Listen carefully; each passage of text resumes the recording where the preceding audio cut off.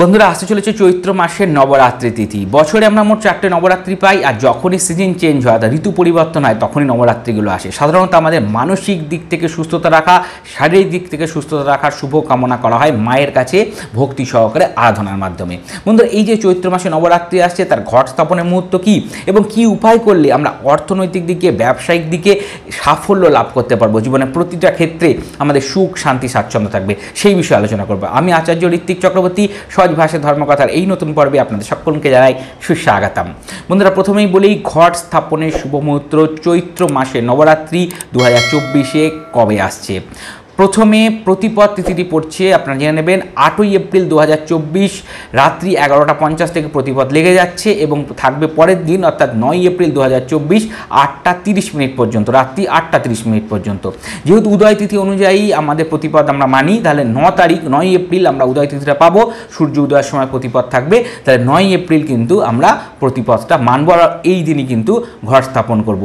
ঘর স্থাপন করব আমরা, শুভ মুহূর্ত পাবো নয় এপ্রিল দু চব্বিশ बीस ছটা দুই, সকাল ছটা দুই থেকে দশটা ষোলো, সকাল দশটা ষোলোর মধ্যে। এছাড়া অনেকে অভিজিৎ মুহূর্তটা নেয় ঘর স্থাপনের জন্য। এই অভিজিৎ মুহূর্ত থাকবে সকাল এগারোটা সাতান্ন থেকে বারোটা আটচল্লিশ মিনিটের মধ্যে। এগারোটা সাতান্ন থেকে বারোটা আটচল্লিশ অভিজিৎ মুহূর্ত। তাহলে এই সময়ের মধ্যেও ঘর স্থাপন করা যেতে পারে। অর্থাৎ একদম সকাল ছটা দুই থেকে বারোটা আটচল্লিশের মধ্যে আপনারা যে সময়টা মনে করবেন, আপনাদের জন্য উপযুক্ত সেই সময় আপনারা ঘর স্থাপন করে নিতে পারেন কলস্থাপন করে নিতে পারেন। চৈত্র মাসে নবরাত্রি যদি আপনারা ঘর স্থাপন করে করতে চান। বন্ধুরা, এরপর আসব কোন দিন কোন দেবীর আরাধনা হবে। প্রথম বলব, প্রথম দিন ন তারিখ, নয় এপ্রিল দু হাজার চব্বিশ, এদিন শৈলপুত্রী মায়ের আরাধনা হবে। দশই এপ্রিল দু হাজার চব্বিশ, ব্রহ্মচারিণী মায়ের আরাধনা হবে। এগারোই এপ্রিল দু হাজার চব্বিশ, চন্দ্রঘণ্টা, মাতা চন্দ্রঘণ্টা আরাধনা হবে। বারোই এপ্রিল দু হাজার চব্বিশ, মাতা কুষ্মণ্ডা আরাধনা হবে। তেরোই এপ্রিল দু হাজার চব্বিশ, মাতা স্কন্ধমাতা আরাধনা হবে। চোদ্দোই এপ্রিল মা কাত্যায়নী আরাধনা হবে, পনেরোই এপ্রিল মা কালরাত্রি আরাধনা হবে, ষোলোই এপ্রিল মাতা মহাগৌরীর আরাধনা হবে, এদিন অষ্টমী তিথি পড়বে এবং সতেরোই এপ্রিল মাতা সিদ্ধিদাত্রী আরাধনা হবে, এদিনই রামনবমী এবং নবমী পুজো আমরা সাঙ্গ করব।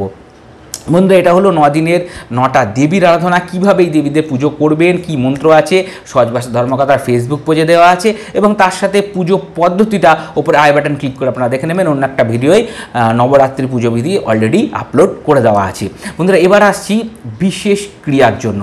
বন্ধুরা, এই সময়ের মধ্যে মায়ের কিছু বিশেষ উপায়ে যদি আমরা আরাধনা করতে পারি, তাহলে কিন্তু আমাদের ওপরে মায়ের কৃপা আশীর্বাদের ফলে বিভিন্ন রকমের সমস্যা থেকে আমরা নিস্তার পেতে পারি। বন্ধুরা, এর মানে এই না যে আপনাদের ঘর স্থাপন করেই পুজো আরাধনা করতে হবে। যারা করবেন তাদের ততি উত্তম যারা করতে পারবেন না তারাও আমার বলা এই ক্রিয়াগুলো এই সময়ের মধ্যে এই নবরাত্রি পিরিয়ডের মধ্যে আপনারা অবশ্যই করতে পারেন। আসছি প্রথম যে উপায়টি, এই সময়ের মধ্যে যাদের ব্যবসায়িক উন্নতি চান, ব্যবসা ক্ষেত্রে কোনো সমস্যা হচ্ছে, নজরদোষ লাগছে বা বাড়িতেও বিভিন্ন রকম অশান্তি হচ্ছে, গৃহশান্তি থাকছে না বিভিন্ন রকমভাবে মনে হচ্ছে বাস্তুতেও কিছু সমস্যা তৈরি হয়ে যাচ্ছে, তারা কি করবেন?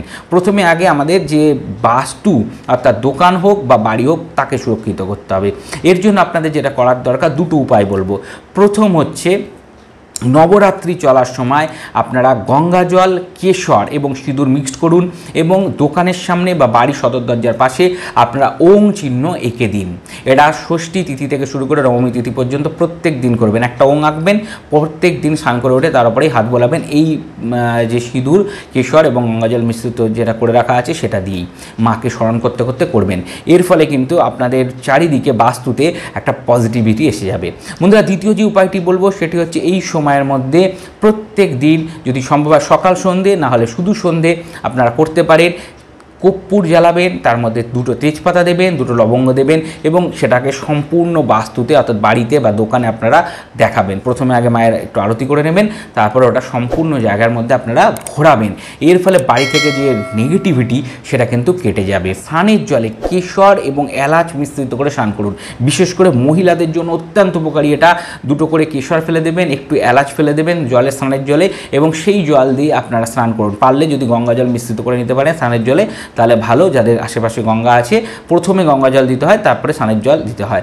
তারপরে আপনার এলাচ এবং কেশর দেবেন, দিয়ে স্নান করবেন। এর ফলে কিন্তু আপনাদের মধ্যে পজিটিভিটি চলে আসবে অর্থনৈতিক দিকে সমস্যা হচ্ছে। তারা কি করবেন? একটা পান পাতা নেবেন, সর্ষের তেল দুদিকে মাখাবেন। মাখিয়ে বালিশের কাছে রেখে শুয়ে পড়বেন। নবরাত্রি চলার যে কোনো দিন করতে পারেন।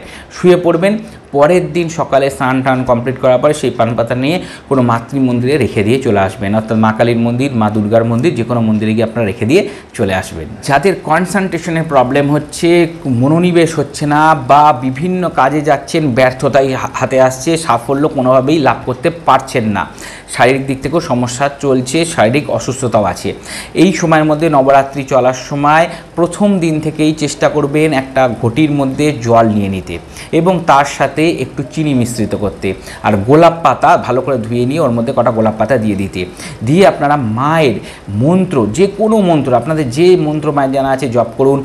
দুর্গা চাল্লিশা জপ করুন। সপ্তশতী বলতে পারেন, পাঠ করতে পারেন। মায়ের যে কোনো মন্ত্র আপনারা প্রত্যেক দিন আপনারা পাঠ করুন। এবং তারপরে পাঠ হয়ে যাওয়ার পরে, আরতি দেখাবার পরে ওই জলটা নিয়ে বাড়ির প্রত্যেক সদস্যকে খাওয়ান, আপনারা নিজেরাও পান করুন। এই নদিনই কন্টিনিউ আপনারা করুন বা যত বেশি দিন সম্ভব, এই ন দিনের মধ্যে প্রথম থেকে শুরু করলে সব থেকে ভালো, যত বেশি দিন পারবেন করবেন, এর ফলে কিন্তু আপনার এই সংক্রান্ত সমস্যা দূর হবে। বন্ধুরা, এরপর আসছি ব্যবসায়িক উপায়, সিঁদুরের মহা উপায়। বন্ধুরা, কী করতে হবে? যদি আপনাদের মনে হয় যে অনেক চেষ্টা করছেন, তাও ব্যবসা উন্নতি হচ্ছে না।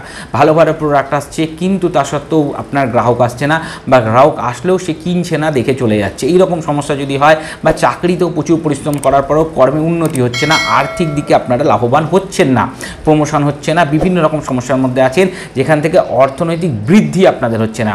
সেই ক্ষেত্রে আপনাদের কি করতে হবে? বন্ধুরা, এটা করতে হবে আপনাদের সপ্তমীর দিন। সপ্তমীর দিন কি করবেন? সিঁদুর, লাল সিঁদুর নেবেন, তার মধ্যে পাঁচটা গোমতী চক্র ভালো করে ধুয়ে একটু হলুদের টিকা দিয়ে আপনারা রেখে দেবেন। অর্থাৎ গোমতী চক্র নেবেন, পাঁচটা গোমতী চক্র ভালো করে গঙ্গা জল দিয়ে ধোবেন এবং একটা করে হলুদের ফোঁটা ওর মধ্যে দিয়ে দেবেন।